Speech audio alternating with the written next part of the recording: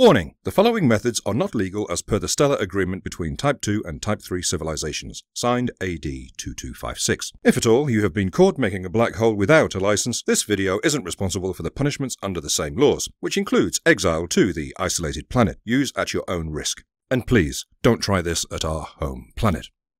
Natural black holes form by the collapse of supermassive stars under their own gravity. We know that even though there are millions of stars in the universe, waiting for one to collapse isn't a practical approach for one's day-to-day needs. But fret not, because this recipe would get you the black hole you wanted in the fastest time possible. You will need one rogue planet, a planet which is not gravitationally bound to a star. One Class S terraformer with the latest Cramer arms, available at the nearest SpaceX outlet. 200,000 cups of patience. Oh, and salt. You always need salt. Procedure. This procedure takes a lot of patience. So, use those cups of patience as needed. First, you need to travel to the rogue planet you illegally claimed for yourself. This would be easy with the Class S terraformer you stole from SpaceX. Once you're at a safe distance from the to-be black hole, you should initiate the procedure for compressing the planet at hand. Bring out that strong Cramer arm attached to the spaceship. This is where you wait. Depending on the size of the planet, the time would vary. It usually only takes two to three hours to compress Earth-sized planets with the latest Cramer arms. During this time, feel free to use the salt to heal the wounds from your emotional scarring caused by the pathetic life you had back home. After a few hours, you have your own black hole. What you do with it is completely at your discretion. Why this works? Any object can become a black hole, as long as its mass is concentrated enough to bend space to the point where not even light can escape its gravity. This is defined by the Schwarzschild radius. This radius depends only on the mass of the object, in our case, the rogue planet.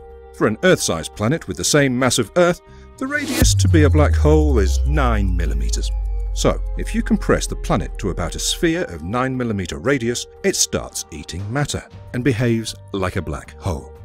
Jokes apart, humans have actually tried to create black holes in the laboratory.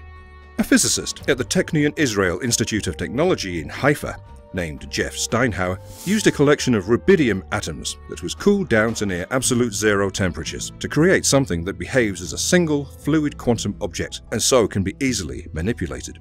He manipulated this fluid to flow faster than the speed of sound, Doing so trapped the sound waves travelling opposite to the flow, and thus creating a stand-in for the gravitational event horizon of a black hole. When particles are accelerated, they gain mass, based on E equals mc squared.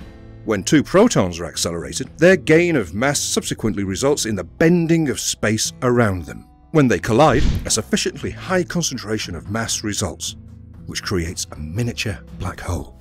That being said, Compression of objects down to their Schwarzschild radius isn't practical with the current technology that we have.